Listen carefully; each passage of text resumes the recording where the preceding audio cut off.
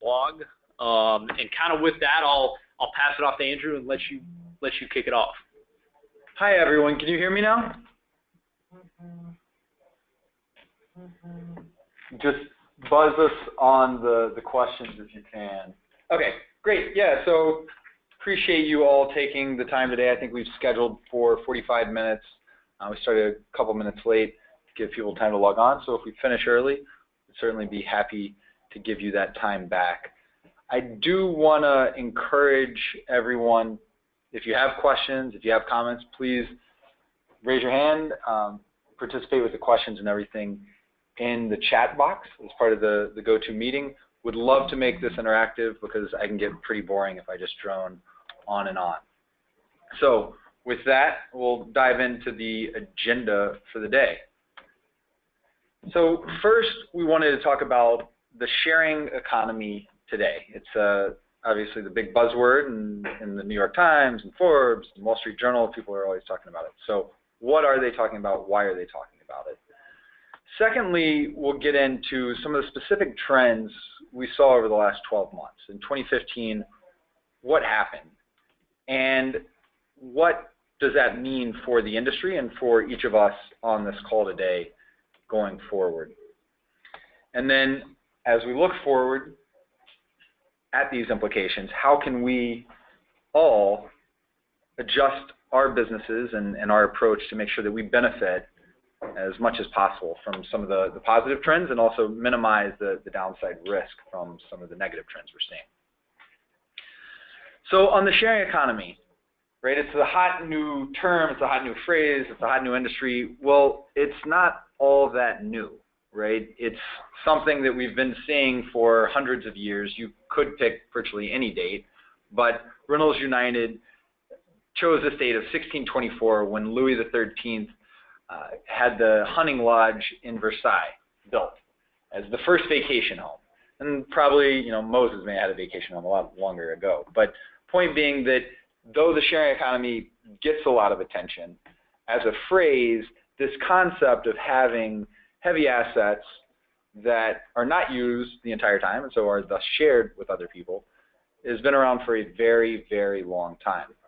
So then the question becomes, why then do we care about this sharing economy? If it was under a different name and a, and a different guise before and it's been around forever, why is it a big thing now? Well, namely because largely due to branding, it's gotten absolutely enormous over the past several years. So Euromonitor, I think, had estimated that the vacation rental space in 1999 globally was worth $40 billion as of 2015, that had gotten up to $150 billion. And as we look forward, the entire sharing economy space is looking to exceed $300 billion by 2025. So it's growing rapidly, and that growth is accelerating. The pie is growing. The opportunity is huge. So let's dive into some of the trends and the implications. So the first trend you probably all experienced and, and heard a lot about is that of regulation, increasing regulation. The idea of all these people in New York breaking the law in New York to rent out their homes. Well, yes, but what's often not mentioned is that that law came out, I think, in 2011. It, it's actually a pretty recent law, and this regulation is new, and it's a lot of times driven by vested interests trying to limit the growth of an industry that they see as a threat.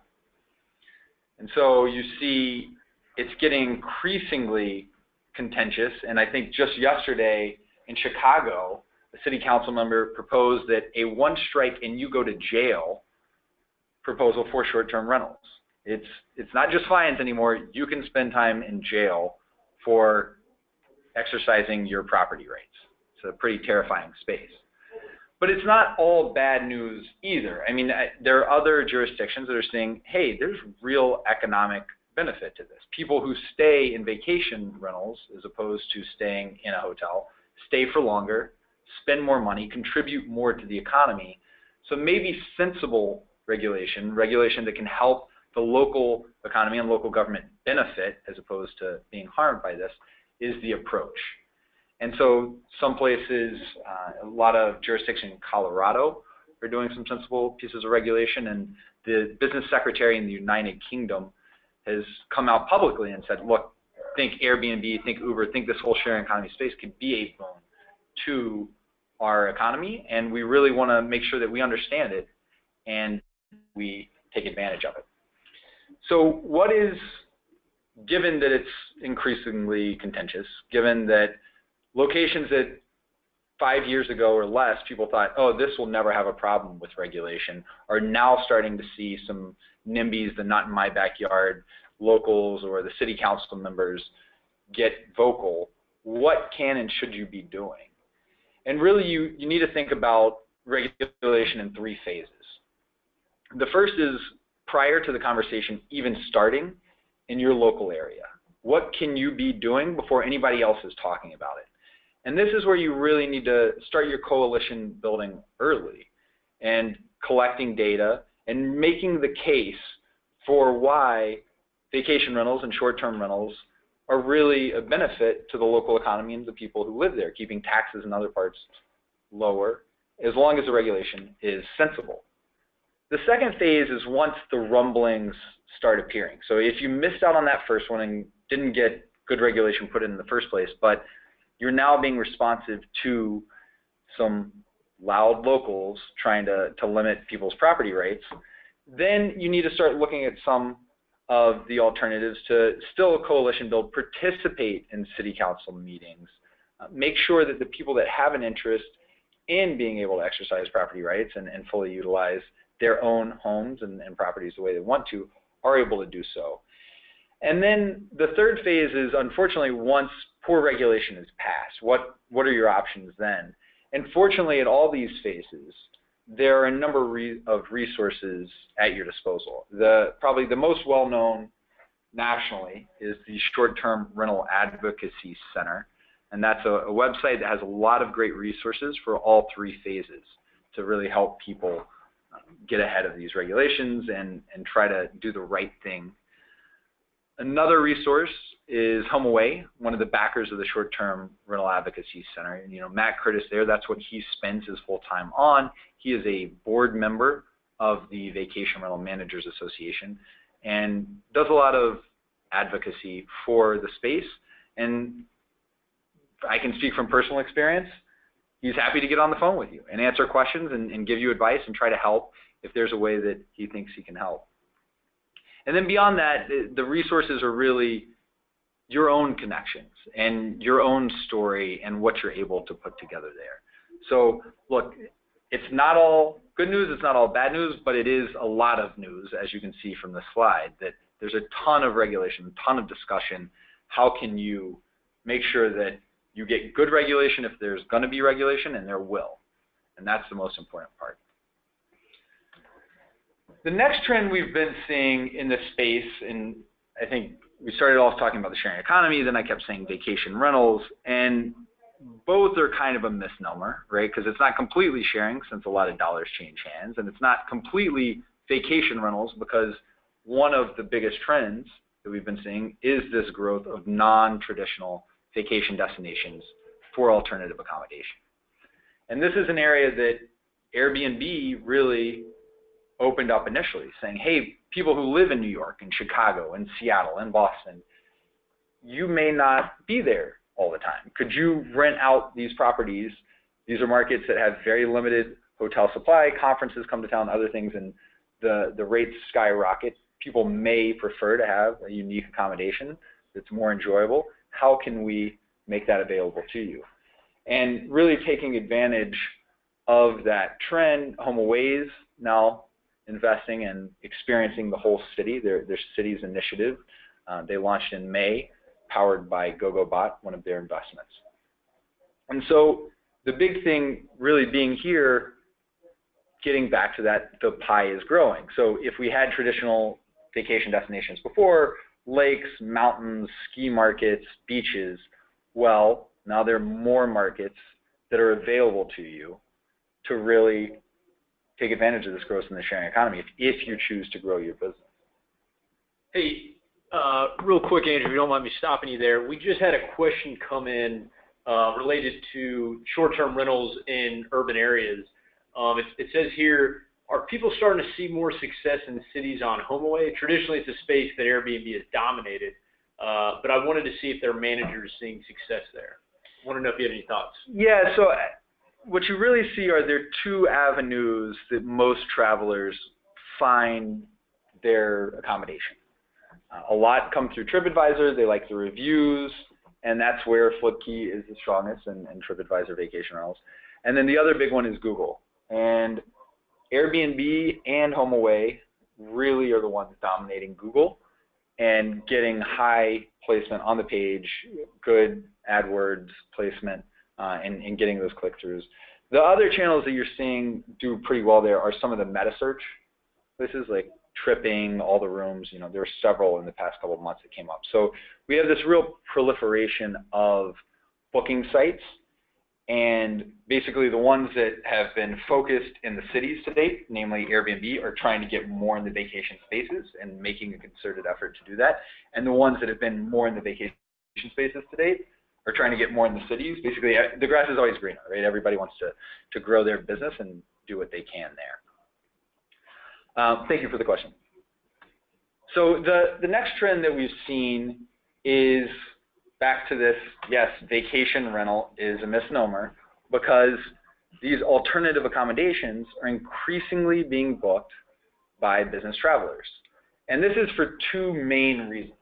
The first is the incorporation with corporate travel departments.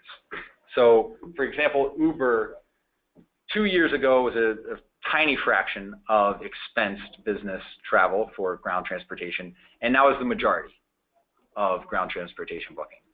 And Airbnb has done a very good job in the past basically 12 months partnering with corporate travel departments and their service providers to make Airbnb inventory available to business travelers. And they like doing that, and predominantly for two main reasons. One, the location and the uniqueness of these properties can be a lot better. I mean, in, say you're going to London, there are only so many places that have decent hotels. But if you want to be out in Battersea or you want to be out in another location, there might not really be many hotel options. And Airbnb or HomeAway, whatever the site may be, has some very local and unique inventory available to you.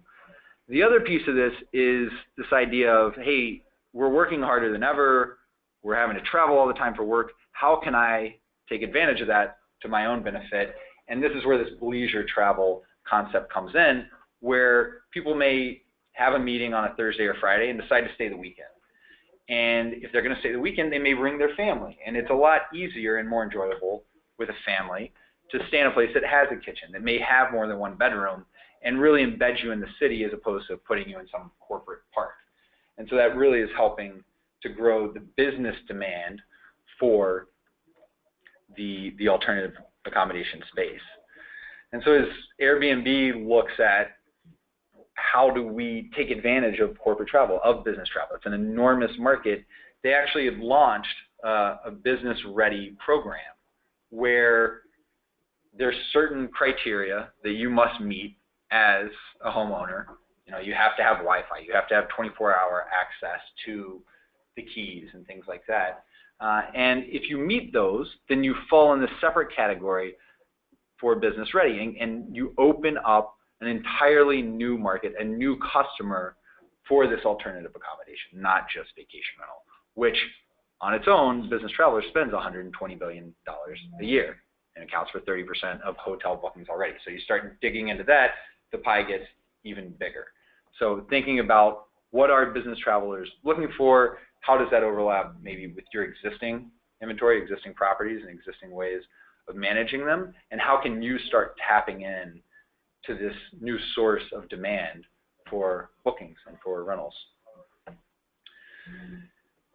And probably the, the trend, maybe along with the regulation, that's gotten the most ink spread over the past year has been that about consolidation. So it's not just consolidation, there's also convergence, but the big one in this alternative accommodation vacation rental space being Expedia's $4 billion, $3.9 billion acquisition of HomeAway. But that wasn't the only one, right? We heard about Hyatt pouring $40 million into One Fine Stay. We heard about Marriott buying Starwood Hotels, owner of W Hotels, Westin, the Sheraton, Four Points, uh, St. Regis for 12.2 billion. We heard about Swissôtel buying up um, or getting bought, sorry, by Accor uh, along with Fairmont and Raffles for nearly three billion dollars. And so you're seeing a ton of money, absolute ton of money being poured in to getting the big companies that are already in this accommodation space even bigger. And there are a couple of things that are interesting here. One is that yes, the big players are getting bigger than ever, but the other one is the numbers. So 4 billion sounds absolutely huge for HomeAway. 3 billion sounds enormous for Fairmont. 12.2 billion for Starwood. These are very large numbers, and yet they all just pale in comparison to Airbnb's latest public valuation or private valuation that they've let out publicly of 25.5 billion dollars. So it shows really where investors see the future growth in this industry, and that is in this alternative accommodation space. Yeah. Hey, Andrew, we uh, we just had another question come in from uh, a manager out there, and they're asking particularly, you know, related to some of the stuff you're talking about, the Hyatt investing in One Fine Stay. Do you think more hotels will continue to bleed into the vacation rental space? Yeah, absolutely. I mean, I've met with people, IHG Intercontinental Hotel Group, before the Marriott merger with acquisition of Starwood was the biggest hotel company in the world. And their strategy group, multiple different members came up to me saying, I really think we missed a beat by not trying to buy Airbnb years ago, and I think this is the single biggest growth opportunity in this space, and we don't understand it well yet, and we need to understand it better. So they're going to look to pour money into it, and these are enormous companies that have tremendous resources and are used to managing accommodations, right? They are used to checking people in at all hours of the day. They're used to getting places clean. They are not used to having to deal with properties and bedrooms spread all over a city, spread all over the country because they have local operators that, that work in a single building. So they still have a lot to figure out to be able to do it well, but they have the deepest pockets in the world to be able to figure it out. So I, I think they have to justify their share price and they have to figure out where their next path to growth is, and we're, we're going to see that a lot more going forward. So, I mean, these trends lead into what we can expect looking forward. And this basically builds off some of that consolidation and convergence piece that as these players get bigger, they flex their bigger muscles. And what we're starting to see is companies that previously had only charged one side of the booking uh, process are now charging both say, well, there's money on both sides of this equation. Let's start charging traveler fees.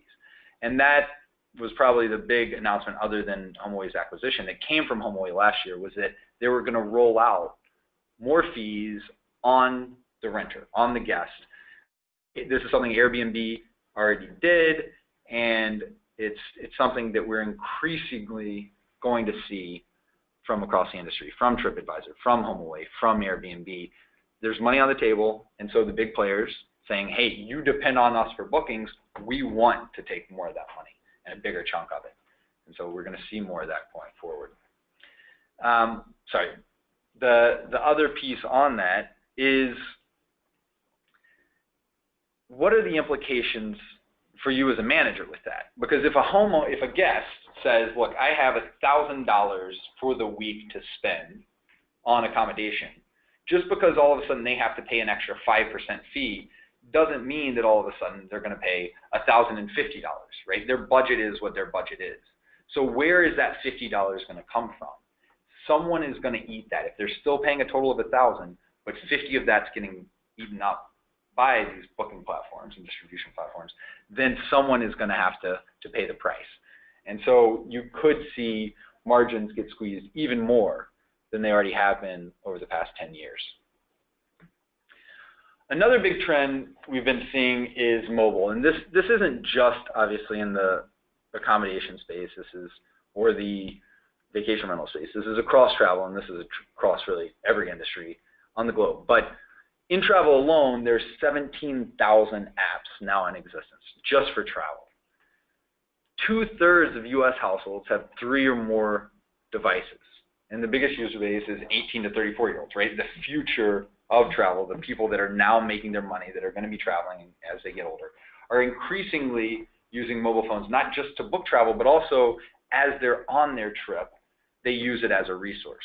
And this has a few implications. I mean, one is for managers, it's actually a very good thing because these travelers are demanding constantly that you are on point, that you are ready to answer their questions, to, to be at their service. And mm-hmm. as an RBO owner, it's in, it's almost impossible to to fulfill those demands, right? If you had a full-time job, you're a neurosurgeon and that's how you afforded this home, you can't be on call 24/7 for your vacation home. And so this is a real opportunity as the demands for the hosts increase for the best professional managers with the best service to be able to really step in there and separate themselves from the pack.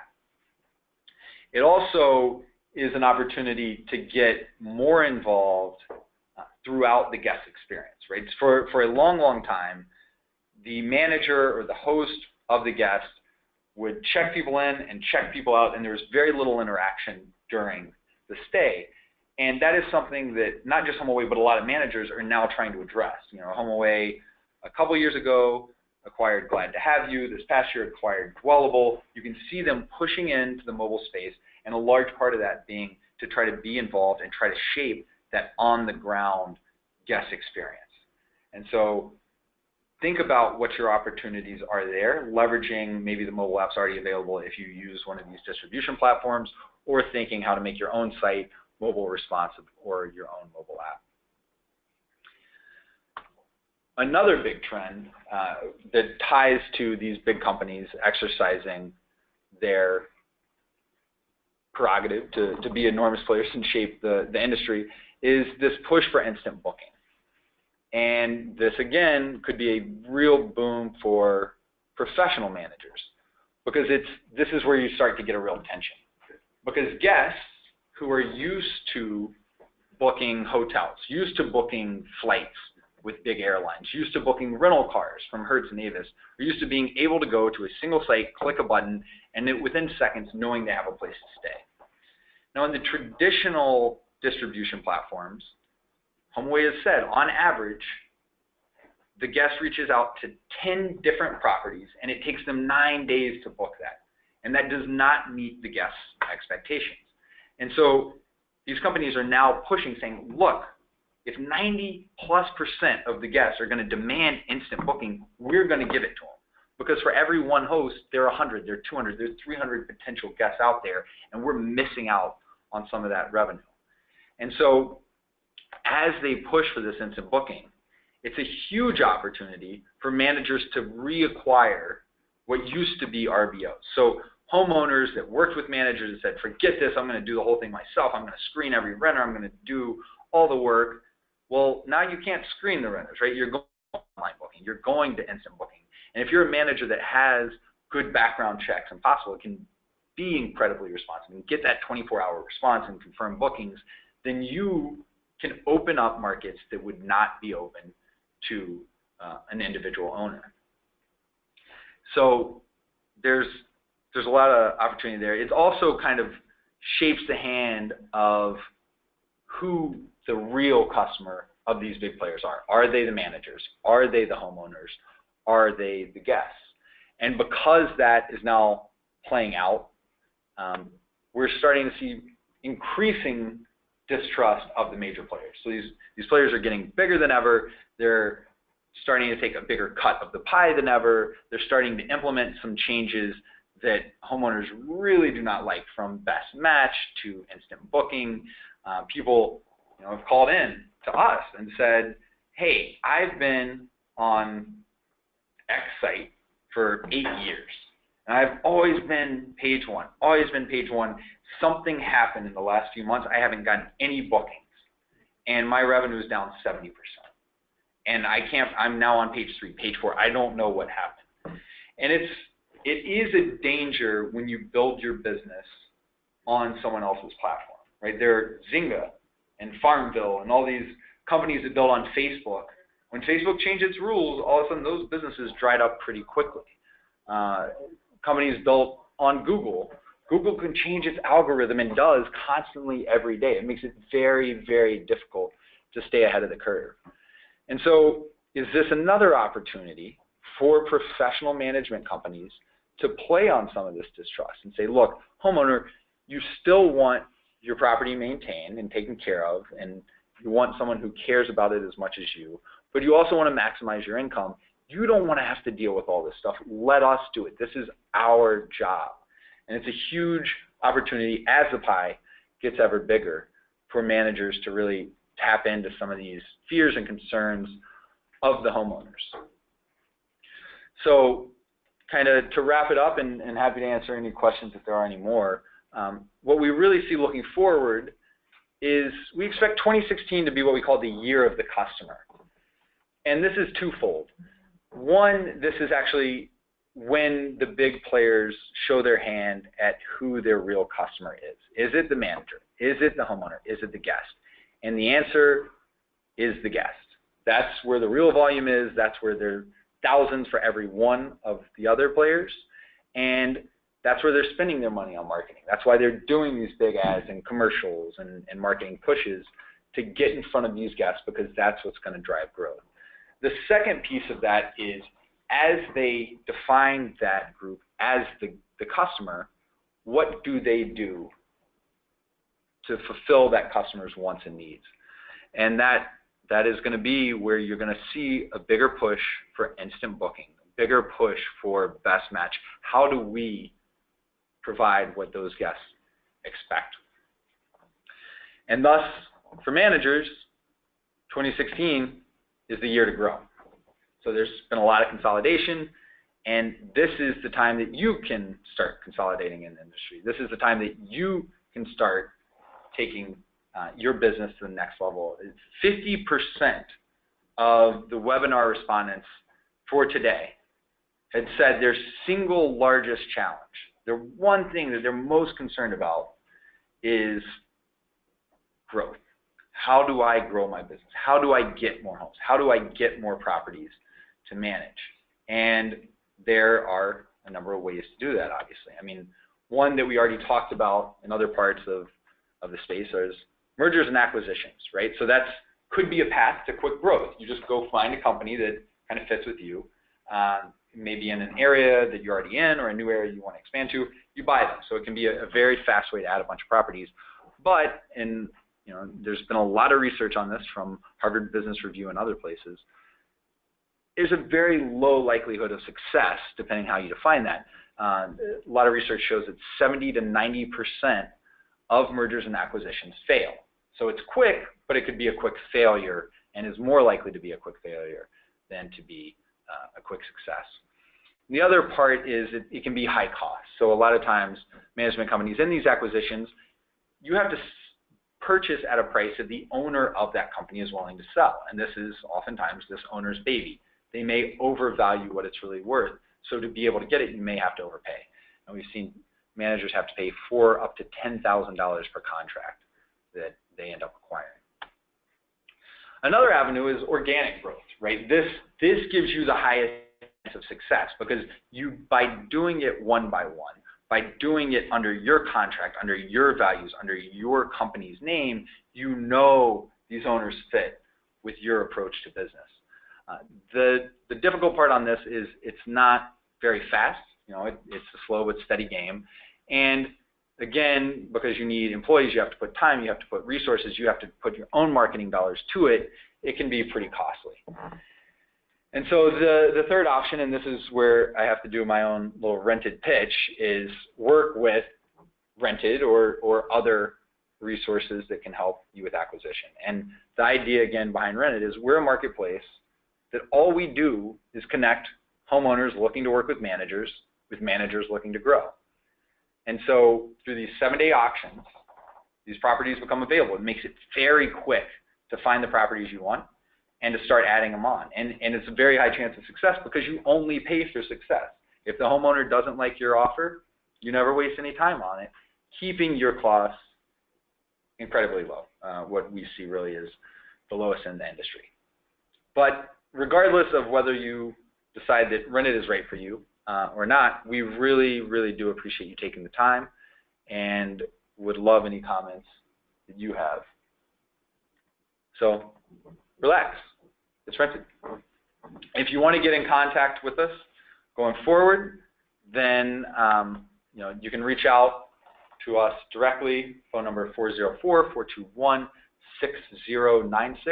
or you can call 1-844 rented 4 and these are all our social media handles and, and accounts.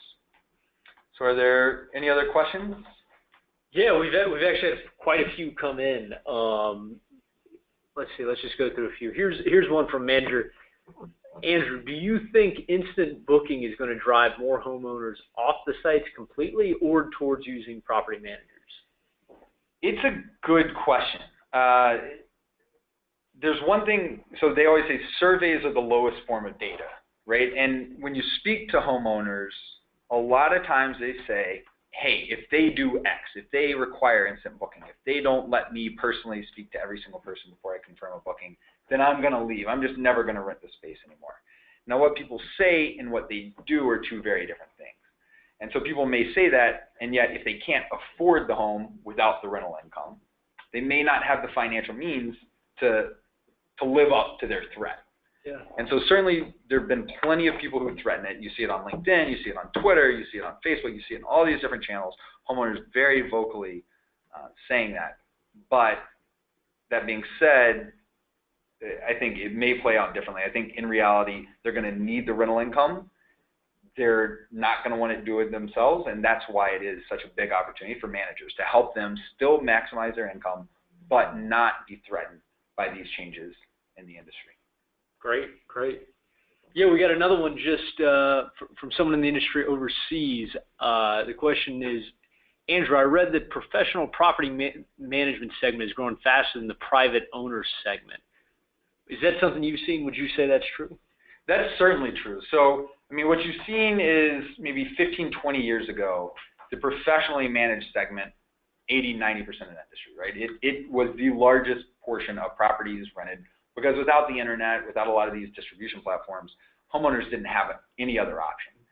With VRBO, with HomeAway, with Airbnb, a lot of that shifted. And so you started seeing 60% of inventory was then being managed by homeowners, 40% by managers. But I think we're starting to see that tide shift. And it's starting to come back to managers where they're already accounting for over half of the rental income that's actually coming in. And that's only growing as homeowners who initially said, well, I can do this myself, it's easy, realize both, I know I can't do it myself and it's incredibly hard. Mm-hmm. Great. So, yeah, absolutely. Um, let's see. Here's another one came in a little earlier. If a property manager did want to grow organically, what are some of the best practices for recruiting new homeowners? Yeah, I, you really need to come up with what your unique value proposition is. Every manager is going to say, I'm going to take care of your home the best. I'm going to make you the most money. I have the best deal. That's not going to separate you because even if you sincerely believe all of those things are true, every other manager also sincerely believes that's true. So how are you really going to separate yourself from the pack? So that's that's I can't tell you what your unique value proposition is. You don't have to be very good at everything, but be the best at something and really clearly articulate that. That's step one. Step two is make that clear from the beginning with your owners. So, for example, with rented, right? There's certain owners that would be terrible customers for us, right? They'll come in and say, "Yeah, I, I want to do this. I want to maximize income, but I want to know every single guest that comes into my property." And we have to tell them, "No, we're the wrong service. You can't come here because the whole premise of this is that you have no say in the guest anymore. It's the manager that gets to do that. And so as a manager, once you know what your spike is, once you know what your unique value proposition is, you also need, besides attracting the right people in, to filter out the wrong people. Because if you let in the wrong people who don't match with the value that you provide, you're going to end up with incredibly squeaky wheels that may end up costing you a lot more money than you make from them. And so it's really a twofold uh, approach there. Yeah, yeah. All right, here we got another good one over here. Uh, this this one's kind of interesting. With the listing sites increasing fees, would you recommend pricing rentals differently according to what site they're on? This is uh, I, I've seen this play out in different ways, right? So I, I've seen owners that very clearly price it differently. Um, Airbnb has one price, HomeAway another, FlipKey another. And the savvy traveler looking at it said, hey, I can find your home on all three of these different sites, and I see they have different prices. And some owners are completely transparent with stuff like that. They say, well, you know what? The reason I charge differently is because I have to pay different fees to these sites. So if you want the lowest price, you need to go to site X as opposed to Y. So if if you know there's a certain amount you need to make and you want to be competitive, then absolutely I would take advantage of dynamic pricing um, to to get as much money as the guest is willing to pay on each booking. Um, let's see. All right, we got one more that just came through. Uh, it's just a general question about growing. You know, if as you've seen in the market out there, are there any types of contracts you would recommend that you're seeing are really resonating with homeowners out? Like, what are what are homeowners looking for contract wise? What's resonated with them? Yeah, and it, I mean, the contract's one thing. There are a number of different things a homeowner could look for, right? Some homeowners are much less price sensitive than others, and what they really, really care about is that you are going to completely take care of their home. So, an example there would be something like Inspirato. So, Inspirato having looked at the numbers that come through our market, I can say almost every single time is going to pay the homeowner less than virtually any manager would make. The homeowner is by definition making less. But what Inspirato does is two things. One, they invest a bunch of money into that asset. They show, look, I'm invested in this asset just like you financially.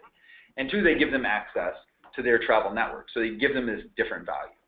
And that's not right for every homeowner. Some homeowners need to maximize their money, some don't. Um, but that's that's just being unique. Another way would be, look, if every single manager in your market is competing on commission, I'm going to charge 20%, I'm going to charge 15. It's a race to the bottom, right? And you're only going to be able to make so much money. How can you offer something different? And this is where you know we we originally started with the fixed rent or the guaranteed rental contracts, where we've seen that really resonate with homeowners. Wait, you're telling me, manager, that you're willing to guarantee me X you know, forty thousand dollars for the year, then that's a great way to grow because that all of a sudden is a totally different value proposition that you're taking to that owner than anyone else in your market. Oh, and by the way, besides just adding the properties, you pay the right number, you have unlimited upside. So say every manager out there is doing thirty thousand on a property. And that's because everybody books the entire peak season, but only here and there are off peak weeks booked because the manager is only getting a 30% commission or lower on each of those bookings, and they have a high marginal cost. But if on a fixed rent contract you're still paying the same amount, but you know, hey, for that property alone, I can cut my rate in half and still make money because I keep every single cent that comes in. Then all of a sudden you had to pay 30, but you doubled your profit on the home. And so it's that's a, a very appealing way to, to grow for some managers. Some just aren't capitalized like that or, or don't want the financial risk or don't have great projections. So it really depends. I don't think there's any one silver bullet on contract approach or what your value proposition is. I think you need to look at your own circumstances, your own objectives, and your own market. Yeah, yeah, certainly. Yeah, this one, this one's kind of insightful here, and you know, it looks like I just want to get your thoughts on this. What are some of the trends within the professional property management space, specifically around the type of property manager business model? Really, the national brands versus the local focus, and then the on-site versus the models that manage, you know, from another place, from afar? Yeah, so I mean, I would I would separate those two out. So the local versus the national versus the international.